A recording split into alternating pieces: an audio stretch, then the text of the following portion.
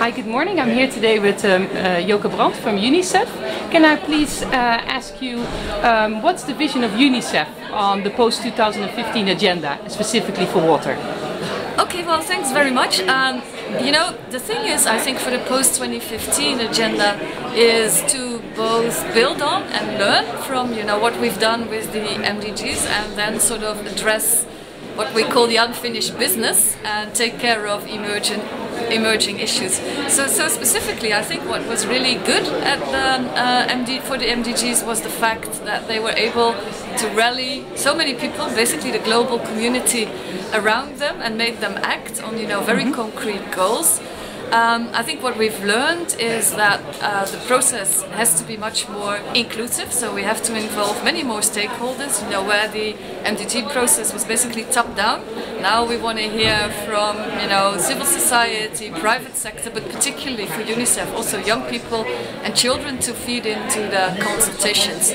Now, um, for water specifically, uh, what we've seen is, of course, uh, success. You know, water MDG has basically been met, but also major, major unfinished business, particularly on sanitation, but also on water safety and sustainability.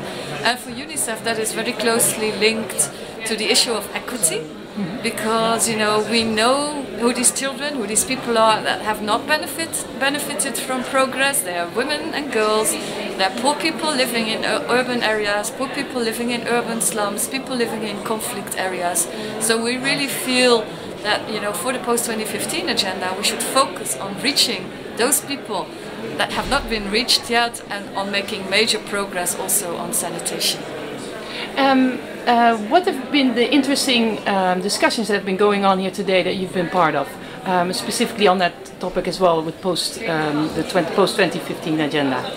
Well, you know, I think what is interesting is that you have such a wide diversity of people here. So, of course, UNICEF is, is mostly involved in, in WASH, but it's also interesting to see the linkages between issues like you know, water resource management, wastewater, um, basically broader environmental questions.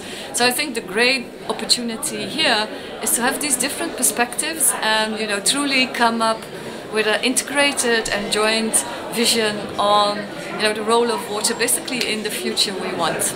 Okay, thank you so much.